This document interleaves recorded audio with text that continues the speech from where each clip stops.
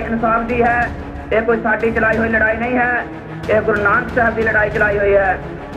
ਜਿਹੜੀ ਗੁਰੂ ਸਾਹਿਬ ਨੇ ਬਾਬਰ ਬਾਦਸ਼ਾਹ ਨਾਲ ਲੜੀ ਸੀ।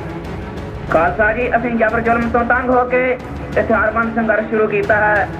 ਔਰ ਅਸੀਂ ਉਹਨਾਂ 'ਚ ਆਰਾਮ ਨਾਲ ਨਹੀਂ ਬੈਠਾਂਗੇ, ਜਿੰਨਾ ਚਿਰ ਅਸੀਂ ਇੱਕ ਅਜਿਹਾ ਘਰ ਨਹੀਂ ਬਣਾ ਲੈਂਦੇ, ਜਿਸ ਵਿੱਚ ਸਾਡੀਆਂ ਧੀਆਂ ਭੈਣਾਂ ਦੀ ਇੱਜ਼ਤ ਸਾਡਾ ਧਰਮ ਸੁਰੱਖਿਅਤ ਹੋਵੇ।